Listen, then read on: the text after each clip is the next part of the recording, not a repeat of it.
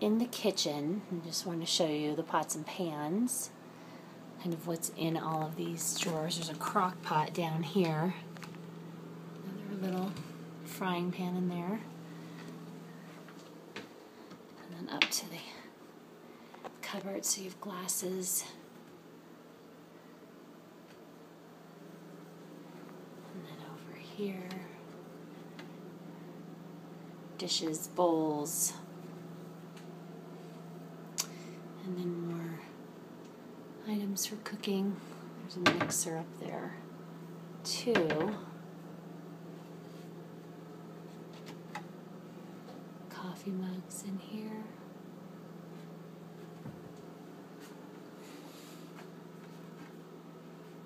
It's just another baking dish right there. And then here's silver.